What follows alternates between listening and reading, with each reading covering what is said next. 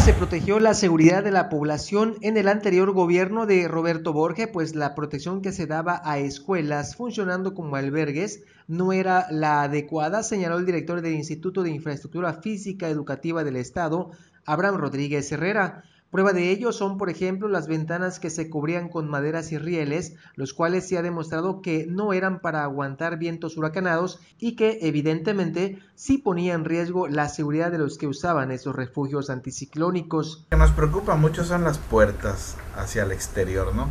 Que son frágiles y las, eh, las estructuras donde se ponen las tablas, donde está fijado a la pared, igual son frágiles, no resisten un viento fuerte.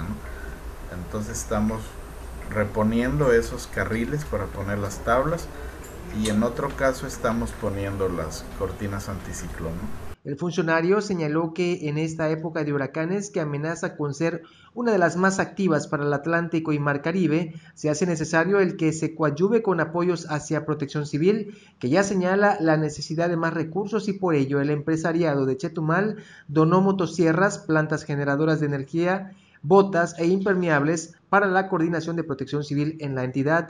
Entonces le pedí al empresario Ricardo Marín Requena que nos ayudara, es un eh, donativo que él está haciendo, una empresa altruista que ha participado con, con este gobierno en muchos aspectos. El funcionario dijo que en el actual gobierno se busca ya quitar maderas en ventanas o puertas y poner cortinas ciclónicas para darle seguridad a los que usen estos refugios.